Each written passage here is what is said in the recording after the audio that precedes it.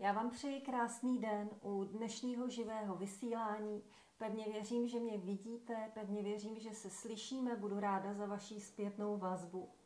A dneska bych vám chtěla velmi stručně, ale pevně věřím, že pro vás velmi hodnotně nebo účinně eh, probrat téma, které je z mého pohledu velmi zásadní. A je to pět bolestí. Pět bolestí ve vztahu, které já osobně již odmítám akceptovat.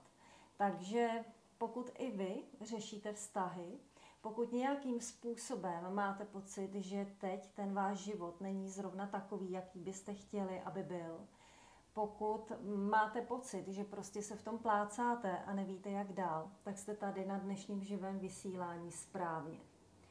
Víte, já když jsem přemýšlela o tom, co vlastně utváří vztahy, nebo jakým způsobem můžeme popsat kvalitní vztah, hodnotný vztah, anebo jak ho odlišit od toho vztahu, který nikam nevede, tak jsem se ocitla na docela zajímavý křižovatce a došlo mi takových pět z mého pohledu zásadních věcí, které by se neměly dít, pokud ten vztah je prospěšný, pokud vám více dává, než bere a pokud nějakým způsobem máte jít s tím partnerem dopředu a máte možná prožívat něco, co jste do té doby v těch minulých vztazích vlastně vůbec neměli možnost docenit nebo neměli možnost prožít.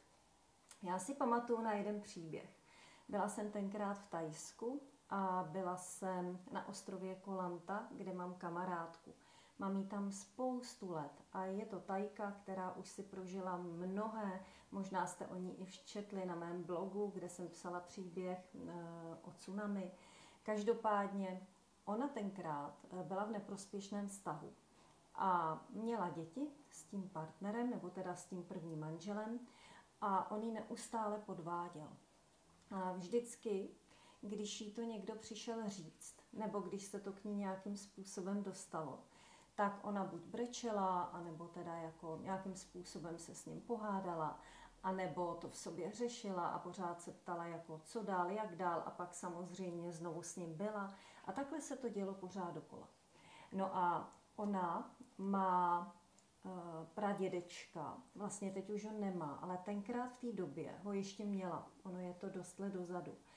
A já si pamatuju, jak jsem jednou čekala s tím pradědečkem před tím bungalovem, kde tahle ta uh, holčina, nebo dneska už paní bydlí. A říká mu, ty jo, dik to není možný, takovej malý ostrov relativně, dik se to k ní prostě vždycky dostane. Jak je možný, že oni se k sobě, že ona se k němu neustále vrací, že ona se ponižuje, že ona nějakým způsobem to akceptuje a přitom trpěla, jo? přitom brečela, přitom nebyla v tom vztahu vůbec šťastná. A on se tenkrát na mě podíval a říkal, no, ještě ten svůj pytel nenaplnila. A já jsem tak na něj koukala a došla mi jedna zásadní věc. Dokud vy nenaplníte ten svůj osobní vak bolestí, tak nemáte šanci se posunout dál, protože každý máme tu hranici, co sneseme a co nesneseme úplně jinde. To znamená, že někdo může vnímat eh, eh, nebo může mít potřebu nás z něčeho tahat. Někdo může mít potřebu nám ze všech úhlů vysvětlovat, proč bychom tohle neměli dělat a proč bychom neměli s tímhle člověkem už být, protože nás třikrát zradil, osmkrát nám zalhal anebo nás zmlátil. A jsou lidé, který ten svůj vák toho utrpení naplní velmi rychle a zkrátka už to nechtějí. Ale jsou mezi námi i lidé, kteří potřebují takových zkušeností víc. A i ta jejich laťka jednoho dne dojde. I oni jednoho dne ten svůj vak naplnějí a řeknou si dost. E, já jsem takových zásadních okamžiků v mém životě měla poměrně, poměrně větší množství. Pamatuju si na situace, kdy jsem opravdu svoji hodnotu tak nějak dávala v šanc tomu, aby ten druhý byl spokojený. A to se nedělo jenom v partnerském vztahu. To se dělo kdekoliv jinde. To se dělo v mém prvním zaměstnání. nebo když jsem začala podnikat a někteří klienti se nějakým způsobem chovali třeba neurvale. A člověk má pořád pocit, že by měl uh, se zavděčit, že by se měl zalíbit, že by tu svou hodnotu měl poměřovat podle toho, co vidí tam někde venku. A víte co? Vůbec to není důležitý. Dneska jsem ve fázi, kdy to tam venku je mi úplně jedno. A zcela zásadně jsem se zaměřila na to, co mám tady vevnitř. A jakých je těch pět bodů, které mně přijdou extrémně bolestivé na to, abyste v takových vztazích byli. A nebo alespoň v takových vztazích. Nemíním už nikdy se trvávat já sama. Takže první bod eh, je hra na vztah. Hodně lidí má pocit, že v tom vztahu musí hrát určité role.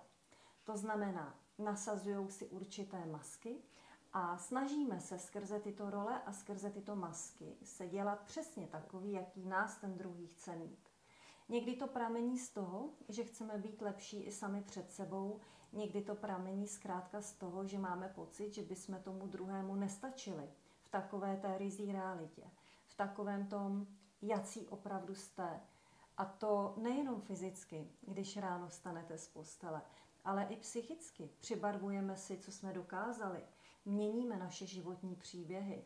Jsme schopni let z čeho, jenom proto, aby ten druhý v nás našel to, co my chceme, aby tam našel. Pokud jste v něčem podobném a pokud cítíte, že opravdu se musíte držet, přetvařovat, že nějakým způsobem to nejste vy, tak si řekněte stop a buď to začněte dělat jinak, anebo se zamyslete nad tím, jestli opravdu v tomhle chcete být, jestli je to ta vaše cesta, že budete popírat tu svoji přirozenost, nebudete to zkrátka vy.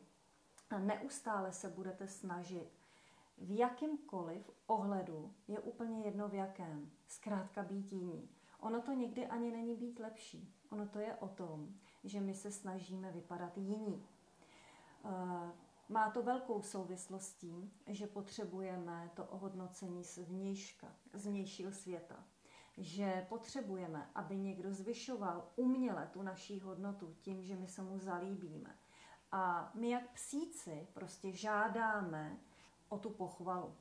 Tak z mého pohledu je to tristní a zkuste z toho udělat krok ven. Druhý bod, o kterém bych dneska chtěla mluvit, je uh, jestli máte vedle sebe toho správného člověka, poznáte jednoduše, protože když jste s ním, tak vás buď dopuje energii, aniž by něco kolikrát dělal, inspiruje vás, motivuje vás, posouvá vás dopředu. Když jste s ním a on dýchá vedle vás, tak je vám skvěle. Jo, podíváte se na něj a je vám skvěle. A nebo jenom posloucháte, co říká a uleví se vám, je vám lépe. Když mu něco řeknete, tak tam nevnímáte tendenci toho, že by to zneužil, že by to použil, že by to nějakým způsobem vyložil jinak, nebo že by to stavěl před vnějším světem v jiném světle. Pokud cítíte, že jste s tím partnerem a máte pocit, že ho máte rádi, ale neustále se cítíte frustrovaní, nedostateční, unavení, vnímáte, jako kdyby z vás vycud celou energii, protože se hádáte, protože na vás hledá chyby. Zaměřuje, zaměřuje se permanentně na to, co vám nejde, co se vám nepovedlo, eh, že se cítíte na prd a tak dále, místo aby dělal přesný opak. Je to pro mě další stopka, kterou já už bych dneska neakceptovala.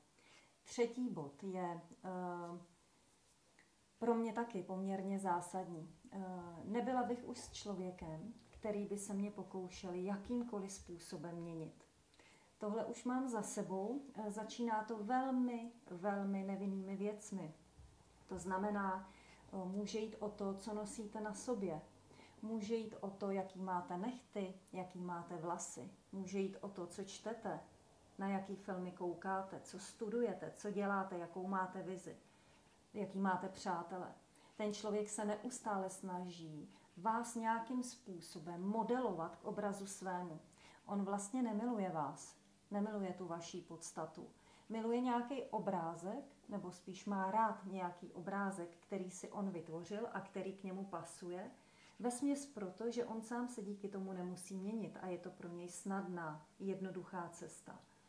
A vás se snaží do této role za každou cenu napasovat, abyste největším množstvím procent se přiklonili k té jeho ideální verzi. A to ideální ve velkých uvozovkách. Protože člověk, který nehledá hodnotu ve vás a který tam nevidí, který s vámi nesouzní, který zkrátka není vaší zpřízněnou duší, může dělat, co chce a docílí pouze dvou věcí. Buď vás zlomí, předělá a přetransformuje a vy budete zoufalí a nešťastný a závislí na něčem, co nemá vůbec žádnou hodnotu. A nebo se mu to nepovede a budete se neustále hádat, budete se neustále dohadovat, protože on není schopen nějaké tolerance, on není schopen uh, toho, aby změnil úhel na nějakou věc, toho, aby vám dal někdy za pravdu a tak dále. Takže z toho východisko není. Jo? Buď budete nešťastní vnitřně, anebo teda si udržíte svoji integritu a budete se neustále dohadovat a hádat. Takže z mého pohledu, pokud chcete uh, nějaký plnohodnotný vztah, tudy cesta nevede. Čtvrtý bod, o kterém bych dneska chtěla mluvit, je slova versus činy. Hodně lidí říká hezká slova. Uh, známe jich přehršel, je jich spousta. Dokážeme hodiny mluvit o tom, co uděláme, co pro ten vztah vytvoříme, co společně zrealizujeme. Eh, dokážeme se hodiny omlouvat, alespoň někteří. Dokážeme eh, sekát, jo, lít si vodu na hlavu a tak dále. A potom, když dojde k tomu reálnému životu, potom, když dojde k tomu, že máme v tom vztahu existovat dál, tak se to neděje. Tak zkrátka zjistíme, že se o tom jenom mluví. A víte, ten vztah, aby byl živej, aby byl bytostně hodnotný, aby někam směřoval, aby zkrátka za to stál, musí udržet určitou kontinuitu mezi tím, co si říkáte a mezi tím, co ti lidé dělají. A pokud mezi tím není rovná se, tak to vždycky dřív nebo později bude průser. Takže já už dneska říkám, eh, pro mě je důležité to, co se děje. Je to mnohem víc důležitý, než to, o čem se mluví. A možná pro vás to tak bude taky. Posledním bodem, který bych dneska chtěla rozebrat, je úcta. Um, víte, dneska má málo kdo v partnerství k tomu druhému nějakou přirozenou úctu. Uh, takový to rozhodnutí, že nebudete hnidopiši, že nebudete zloduši, že budete na tom druhém hledat to dobrý a že ho budete na to, co vám přijde neprospěšný, upozorňovat jemně. Je to poměrně těžká disciplína. Každý někdy ujedeme. Někdy máme prostě pocit, že musíme druhému za každou cenu něco říct. Takže mu to řekneme, my to na ně jako chrstneme a pak nás to samotný mrzí a hází nás to do neprospěšného uvažování, díky kterému pak vytváříte neprospěšné myšlenky. Ta vaše energie kolem vás se mění a jste tam, kde nechcete být. Úcta je velmi důležitá a je důležitá i v tom kontextu, že k vám jde přirozeně od toho druhého, že o ní nemusíte žádat, žebrat, že se nemusíte ponižovat, že nemusíte nic dokazovat, prokazovat jenom proto, abyste docílili toho, aby ten druhý konečně na vás něco ocenil. Pokud je to ten pravý partner, který ho máte vedle sebe, tak se to bude dít automaticky. On bude vědět, co má ve vás, vy budete vědět, co máte v něm a to bude naprosto zásadní a bude to vždycky a primárně na tom prvním místě, na tom prvním imaginárním místě, té soutěži, která eh, si říká takovej ten běžný život. Takže hm, pokud s tím souhlasíte, napište mi do komentářů váš názor. Eh, pokud s tím nesouhlasíte, napište mi ho tam taky, protože mě zajímá to, co se vám honí hlavou, to, co žijete a jak se cítíte. A já budu moc ráda, když přijdete na můj webinář, který je o hojnosti, a nemyslím teď primárně jenom hojnost v peněžence, jak si spousta z vás možná představila. Myslím tím hojnost ve všech oblastech vašeho života. Takže pokud chcete na ten webinář, který je zcela zdarma přijít, najdete link u tohoto vysílání. Já se na vás budu moc těšit a pokud by vám to nevyšlo a nechtěli byste čekat na záznam, přijďte na příští živé vysílání, které proběhne tady na stránce Detoxikuj život. Mějte se fajn, mějte se krásně a budu se na vás těšit. Ahoj.